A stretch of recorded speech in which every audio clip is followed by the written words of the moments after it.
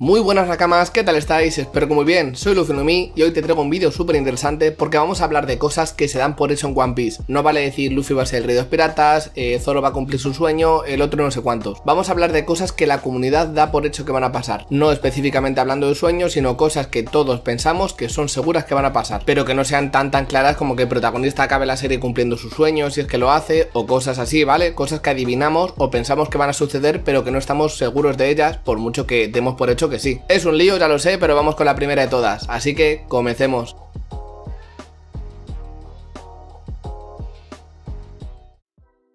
El origen de las Akuma no Mi. Creo que esto es algo que damos por hecho en toda la comunidad porque todos sabemos que el poder más relevante y más llamativo de la serie son las Akuma no Mi. También tenemos el Haki, el cual está cobrando muchísima importancia, sobre todo en esta recta final de la serie. Pero las Akuma no Mi son el principal atractivo, tal y como digo yo siempre, son lo que llama la atención, cuál será el próximo villano, qué Akuma no Mi tendrá, seguro que es súper poderosa y conocer el origen de estas frutas del diablo creo que es algo súper necesario, algo que todos damos por hecho en la comunidad que va a explicarse, que Oda tiene algo preparado para esto y se va a dar una explicación sobre de dónde salen las Akuma no Mi, cuál es su origen, por qué dan poderes, por qué pueden replicarse de alguna forma medio fallida con las Zoan y todo eso. De alguna forma en el manga se nos habló un poquito sobre esto. No voy a hacer spoilers, tranquilos, pero en el manga se nos comentó algo sobre las Akuma no Mi. Si eres lector del manga lo sabrás, porque en el último arco se menciona algo sobre esto, pero está más que claro y todos damos por hecho que algún día el origen de las Akuma no Mi será revelado y será más que interesante. Segundo, Garp se volverá bueno, entre muchas comillas, ¿vale? Yo creo que es algo que va a suceder seguro. También lo he escuchado de mucha gente que cree que sucederá, que da por hecho que esto va a ocurrir, que Garp se volverá bueno y dejará al gobierno mundial, a la marina y a toda esta gente tirada. Poco a poco en la serie se te va diciendo que aunque los marines parezcan los buenos, ¿no? En realidad no lo son. Hay gente buena dentro de los bandos malos que en teoría son los piratas y hay gente mala dentro de estos bandos buenos en teoría que One Piece te va mostrando. La marina siempre quedaba como la buena para la gente y luego viendo la serie has descubierto que hacen cosas horribles al igual que el gobierno mundial. Por lo tanto, personajes como Kobe que se ven tan buenos, que se ve que quieren ayudar, que son buenas personas, no encajan con la Marina y son los encargados de cambiarla el día de mañana. Al igual que todos pensamos que Garp algún día se volverá bueno entre comillas y dejará la Marina y si Garp ya estuvo en duda cuando pasó lo de Ace, su nieto, al que tanto quería, si Sengoku lo llega a soltar pues hubiera acabado con Akainu, ya tuvo un momentazo ahí en Marineford en el que todos sabemos que dudó si traicionara a la Marina por su nieto, si traicionara toda su carrera como héroe de la Marina por salvar a su familia, tanto a Luffy como a Ace, pues creo que la comunidad se da por hecho que algún día ocurrirá, que Garp se volverá a ver en una situación como esta de tener que elegir entre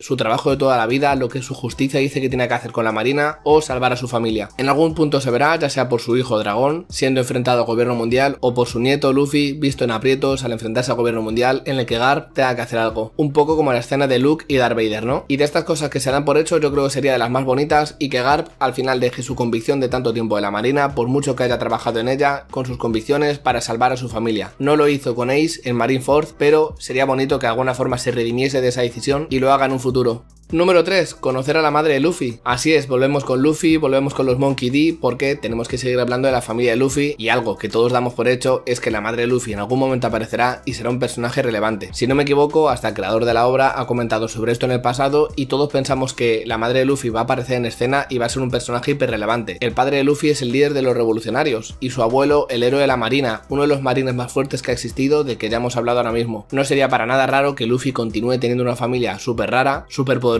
y súper relevante para la historia de One Piece y para el mundo de One Piece. Por lo tanto, ya hay gente diciendo que Im es la madre de Luffy directamente, lo cual sería súper relevante y súper chocante, la verdad. No te voy a mentir, sería una locura, pero está claro que sea Im o sea Pepita, la madre de Luffy va a ser hiper relevante para la historia, es un gran misterio del que vamos a saber en un futuro seguro. Así que todos damos por hecho que la madre de Luffy va a ser un personaje relevante y la vamos a conocer obviamente. Punto número 4, la tripulación de los Mugiwaras versus la tripulación de Kurohige. Todos lo damos por hecho porque desde hace años, desde hace ya muchísimos años por cierto, después de Marineford imagino, todos damos por hecho que la tripulación de los Mugiwaras se va a enfrentar a la de Kurohige y todos hemos hecho nuestras cábalas en plan de vale, pues este se va a enfrentar a este, Luffy versus Kurohige, obviamente. Zoro, ¿qué rival tendría? ¿Cuál es suficientemente poderoso como para enfrentarse a Zoro en la tripulación de Barba Negra? ¿Será Siriu porque es espadachín? No, pero bueno, se puede hacer invisible al igual que Sanji, entonces Sanji quizás quiera enfrentarlo porque tiene su habilidad, la que tanto ha querido siempre. Hay un montón de dudas, así que yo creo que todos damos por hecho que en algún momento de la serie, al igual que Luffy va a pelear con Kurohige, sus dos tripulaciones van a pelear como si fueran un arco normal, de este contra este, este contra este, como pueden ser los Mugiwaras en Enes Luby, cada uno con su pareja peleando, o en la isla Yonin, ya me entendéis. Cada Mugiwara va a tener su pareja de baile, van a pelear uno contra uno seguramente, y va a estar súper interesante y es algo que todos damos por hecho. Vamos con el punto número 5 y es que en él va a volver. Sinceramente esto lo pongo porque es algo que veo mucho por ahí en la comunidad, entonces estoy hablando de cosas en general, no cosas de mi pensamiento que yo creo que van a pasar o que doy por hecho que van a pasar. Vais a flipar con la última porque es la más, la más clara, vamos, la que más damos todos por hecho, pero muchísima gente da por hecho que en él va a volver. Ya hay varios villanos que han vuelto a aparecer tras ser derrotados. Obviamente Baggy, el cual tiene una historia mucho más importante. Esto también se piensa de Doflamingo, aparte de en él, pero bueno, Doflamingo está más reciente, pero está claro que la gente piensa que en él va a volver, volverá a pelear con Luffy, quién sabe. Esto se ha dicho sobre otros villanos de One Piece que han acabado apareciendo de nuevo, apareciendo bastante, ya puede ser Gecko Mori, aunque no sea peleando con Luffy, Baggy, Crocodile y otros personajes muy relevantes. Así que sea por supuesto, al menos en la comunidad, que en él volverá a aparecer en One Piece porque es un personaje que llamó mucho la atención de la comunidad, de los fans. Hay muchos villanos de One Piece que han vuelto a aparecer y sobre todo también se piensa por la gran importancia que tuvieron esas portadas tan famosas del manga de las que se ha teorizado tanto. O sea, una sola portada del manga en la que aparecía en él, en la luna y todo eso, pues dio para hacer un millón de teorías que se siguen sosteniendo sobre esa imagen. Así que bueno, de alguna forma en él podría llegar a ser relevante en un futuro. Yo digo que no estoy totalmente de acuerdo, pero en este vídeo hablo en general, así que la comunidad da por hecho que en él volverá. Vamos con la sexta cosa que todos damos por hecho que sucederá y es que Ace va a ser vengado, ya sea por Luffy o por Sabo. Y ha quedado todo muy bien porque encima ha rimado. Todos lo damos por hecho, todos sabemos que va a pasar, Ace será vengado, no puede quedar impune todo lo que pasó. Ese momento en el que se nos encogió el corazón porque inevitablemente todos queríamos que Ace siguiese con vida después de todo lo que vimos sufrir al protagonista para salvar a su hermano. Muchos de nosotros lloramos cuando sucedió este momentazo de One Piece y está claro que Ace algún día va a ser vengado. Desde que ocurrió nos ha nombrado mucho sobre el tema, Luffy ha pensado en Ace alguna vez, en el opening 14 se le ve empujando a su hermano a continuar con su sueño pese a haber muerto, pero todos sabemos que aunque no se hable del tema, encontrándose Luffy más tarde en Dressrosa con Sabo, sabiendo que su otro hermano está vivo y que luego encima se hizo con los poderes de la mera mera, todos tenemos bastante claro que uno de los dos, o quizás los dos a la vez, lo cual sería muy bonito, van a pelear con Akainu y van a vengar a su hermano Ace. Esto todos lo damos por hecho que pasará, no sé si será Sabo ya realmente quien se enfrenta a Akainu directamente y que Luffy no tenga nada que ver, no sea partícipe de esta venganza, yo hoy por hoy pienso que pueden ser los dos a la vez o uno de los dos, pero para mí la opción más factible, ahora que sabemos cómo pelea Sabo y que no perdona la vida de a quien se enfrenta, como vimos con Jesús Burgués, creo que Sabo sería el encargado de vengar a Ace y quizás acabar con la vida de Akainu incluso, el jefe de la marina. También quieras o no, Sabo es el segundo de los revolucionarios, entonces acabar con un cargo tan importante, bueno, o el más importante en teoría de la marina, tendría mucho sentido y quizás sea Sabo el que tenga que acabar con la vida de Akainu o vamos, vengar a Ace. Y encima utilizando su Akuma no Mi, la mera mera no Mi, frente a Akainu, lo cual sería precioso. Que lo hiciese Luffy, que sufrió muchísimo frente a los ojos de Akainu, pues estaría muy bien, pero que lo haga Sabo, el cual no pudo hacer nada por intentar salvar a su hermano porque había perdido la memoria, también sería precioso y se podría redimir después de todo ese tiempo en el que no pudo ayudar por no tener memoria, después de sufrir un shock al recordar todo y ahora con su Akuma no Mi y todo, pues sería precioso. Y por último, la más clara de todas, la número 7, que sería que Kurohige va a matar a Shanks. Creo que es lo que más se da por hecho en toda la comunidad, en serio, creo que todos pensamos que cuando Luffy llega a Laftel o por ahí más o menos, a una de las islas cercas ya de encontrar el One Piece, se va a encontrar con que Kurohige ha peleado con Shanks y por supuesto fuera de cámara, porque si no no hay forma, Kurohige gana toda su pelea fuera de cámara, Kurohige habrá vencido a Shanks y estará a punto de matarle. Y que de alguna forma, esto lo digo porque es en general, ¿vale? No lo toméis como que, que si no estáis de acuerdo no pasa nada. Esto es algo que yo pienso y por lo que yo he visto en opiniones por internet durante muchos años, es algo que se piensa que va a pasar. No hace falta que estés de acuerdo porque quizás ni pase, ¿vale? Estamos hablando de quizás, pero muchísima gente da por hecho que cuando Luffy vaya a devolver el sombrero a Shanks, se va a encontrar con que Shanks está ya dando sus últimas palabras para despedirse de Luffy, que le dará el sombrero en una imagen muy bonita, algo muy icónico, pero que Shanks va a morir. Cuesta mucho de creerlo sabiendo la fuerza que tiene Shanks, sabiendo que es un Yonko de hace muchos años, muy poderoso, y cuesta creer que alguien va a derrotar a Shanks, aunque sea el mismísimo Kurohige. Pero por lo general, esta teoría habla de que Kurohige será el que venza a Shanks y lo derrote y lo mate, o lo deje medio moribundo para que Luffy tenga esas últimas palabras con él. Sé que es bastante radical, pero es que creo que es algo que he visto durante tantos años que me apetecía hacer el vídeo solo para hablar de este momento, porque todos damos por hecho que pasará. Y yo en este barco sí que me subo, y creo que Shanks va a morir, y creo que Kurohige va a ser culpable. Además de ser el responsable a medias de la muerte de Ace, por capturarle y todo eso, será el responsable de que Luffy vea como su ídolo en la piratería, por así decirlo, la persona que le animó y motivó a ser pirata, sobre todo con la promesa del sombrero, muere frente a sus ojos por culpa de Kurohige, animando mucho más que Luffy y Kurohige se peleen en un futuro, quizás cerca del Laugtail para ver quién es el rey de los piratas, pero lo importante es que de alguna forma todos pensamos que esto puede llegar a ocurrir, se da por hecho, así que bueno, a ver qué pasa en un futuro, y si acaba ocurriendo, pues mira, lo habremos adivinado mucha gente, quién sabe. Oye, si has llegado hasta esta parte del vídeo, te agradecería un montón que dejases un buen like y lo compartieses, al igual que que te suscribieses al canal, lo cual me ayuda muchísimo. Espero que el vídeo te haya encantado, lo dicho, puedes dejar un buen like, suscribirte, seguirme en mis redes sociales, Instagram, Twitter o TikTok en arroba lufinomi, en caso del TikTok sería arroba lufinomiop